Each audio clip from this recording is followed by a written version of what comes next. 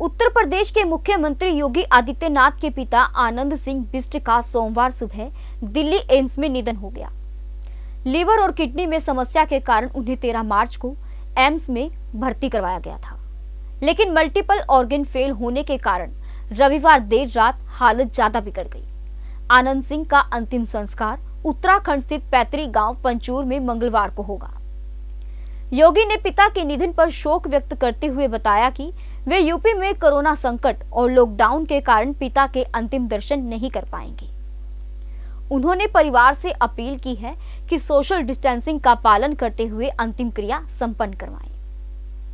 AIIMS में भर्ती रहे आनंद सिंह को देखने रविवार रात को भाजपा अध्यक्ष जेपी नड्डा, गृह मंत्री अमित शाह और पार्टी के संगठन महासचिव बी एल संतोष पहुँचे थे मुख्यमंत्री योगी आदित्यनाथ को जब पिता के निधन की जानकारी मिली तो वे कोरोना से संबंधित टीम 11 के साथ बैठक कर रहे थे।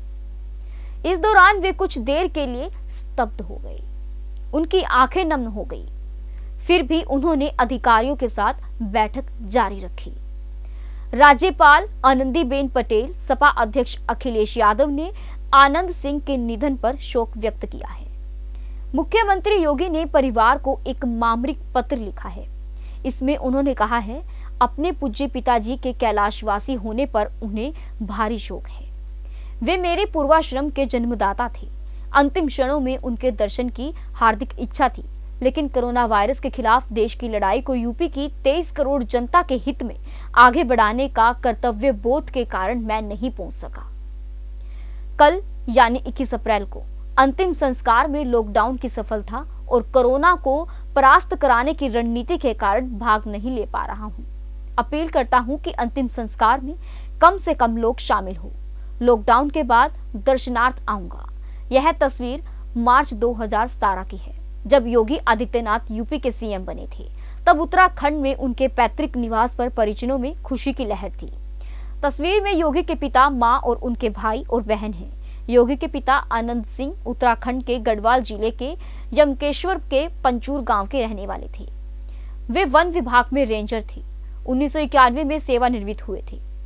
आदित्यनाथ के बचपन का नाम अजय सिंह बिष्ट है। उन्होंने बचपन में ही परिवार छोड़ दिया था। और गोरक्षक नाथ मंदिर के महंत और नाथ संप्रदाय के संत अवेद्यनाथ के पास चले गए थे। बाद में अवेद्यनाथ की जगह योगी आदित्यनाथ ने ली। योगी आदित्यनाथ चुनाव के सिलसिले में उत्तराखंड जाते थे तो परिवार उनसे मिलने आता था। देखिए रिपोर्ट ऐसे ही लेटेस्ट खबरें पाने के लिए बेल आइकन को क्लिक कर हमारे चैनल को लाइक शेयर एंड सब्सक्राइब करें धन्यवाद JBD Banquets lie हैं incredible marriage palace Rajgharana and the finest banquet hall Jyoti Garden. World-class catering, centrally air-conditioned, lush green lawns, state-of-the-art lighting. A perfect venue for wedding, launching and parties. Rajgharana and Jyoti Garden at JBD Banquets Enterprise.